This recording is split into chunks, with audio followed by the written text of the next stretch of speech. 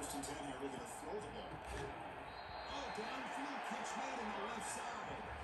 The a win on Montana, it was fun one to call. They get the W for in a shootout. Not much to criticize for either of these teams on the offensive side.